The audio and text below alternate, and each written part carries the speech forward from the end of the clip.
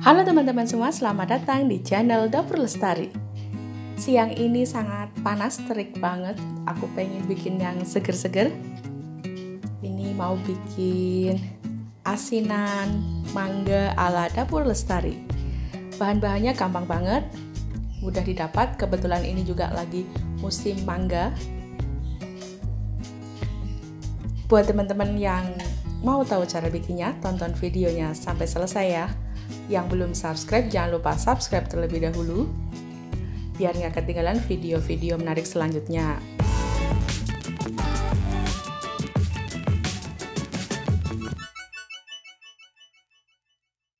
Oke, mari kita mulai saja untuk membuat asinan mangga.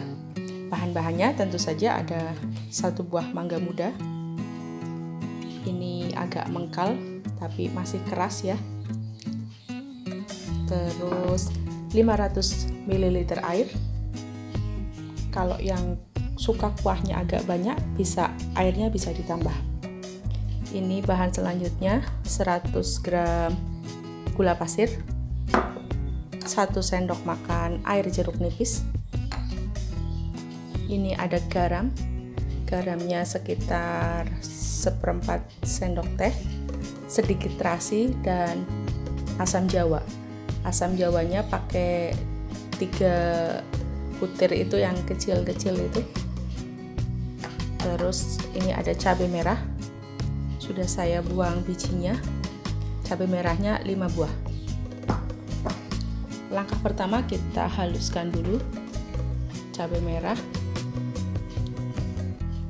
Eh, apa namanya asam jawa terasi. Ini aku menggunakan blender haluskan bahan-bahannya ada cabai merah.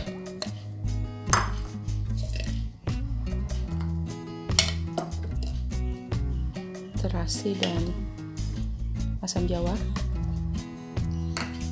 Kita kasih sedikit air lalu kita haluskan. Setelah itu nanti kita rebus dengan air 500 ml ini tadi sudah dihaluskan kita masukkan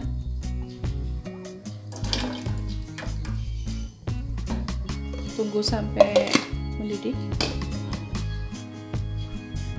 Sekalian kita mas sekalian kita masukkan gulanya 100 gram. Garam.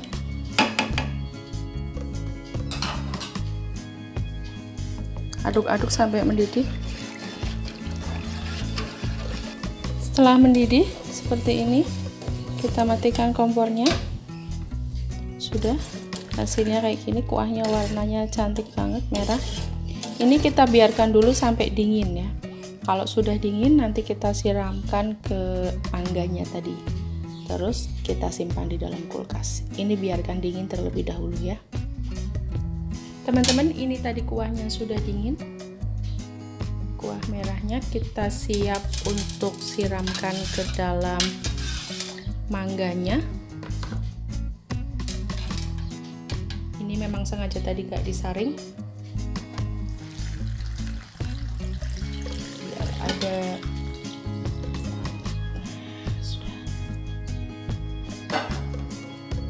remahan cabenya. Hasilnya kayak gini. Ini biar tambah seger. Kita tambahkan satu sendok makan air jeruk nipis. Kita aduk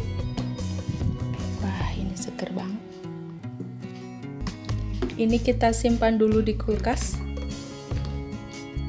Biar dingin dulu. Habis itu siap dinikmati.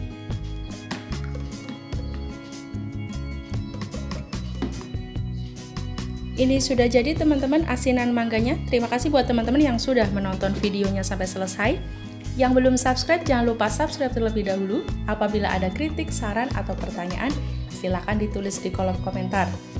Eh, selamat mencoba di rumah. Jangan lupa nyalakan lonceng juga biar nggak ketinggalan video-video menarik selanjutnya dari Dapur Lestari. Terima kasih.